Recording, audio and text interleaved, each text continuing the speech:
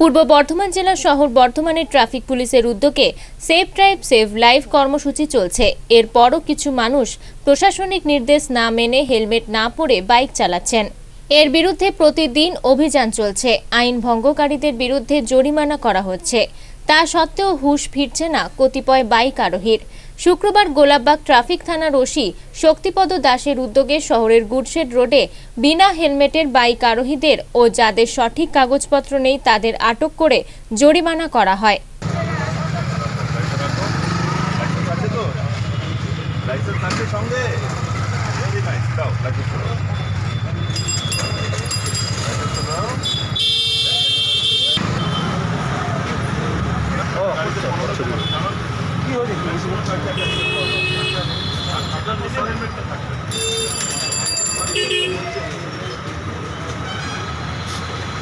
এদিন প্রায় দেড়শোটি বাইক আটক করা হয়।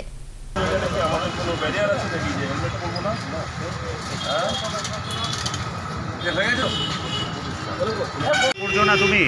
আরে ছিল গাড়িটা অ্যাক্সিডেন্ট করেছে আমার একটা গাড়ি তো ভেঙে গেছে তার জন্য হেলমেট কেনার টাকা নেই বলে এখন হেলমেট করি না। এখন আমার গাড়িটাকে তো গাড়িটাকে তো বার করতে হবে। ওটা তো জমা আছে আমার থানাতে। তো ওই জন্যই থানাতেই যাচ্ছিলাম কথা বলতে। ট্রাফিক পুলিশ আপনাদের এত সাহায্য করছে সাহায্যর হাত বাড়িয়ে দিচ্ছে সেফ ড্রাইভ সেফ লাইফ। কেন?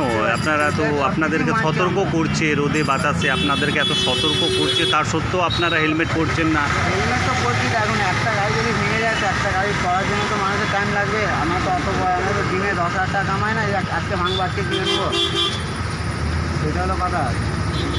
থানায় ডেকেছে বলে আমরা থানাতেই যাচ্ছিলাম। বাড়ি কোথায় তোমার? বাড়ি আলমগঞ্জ। কোথায় যাচ্ছিলে? থানায় যাচ্ছিলাম।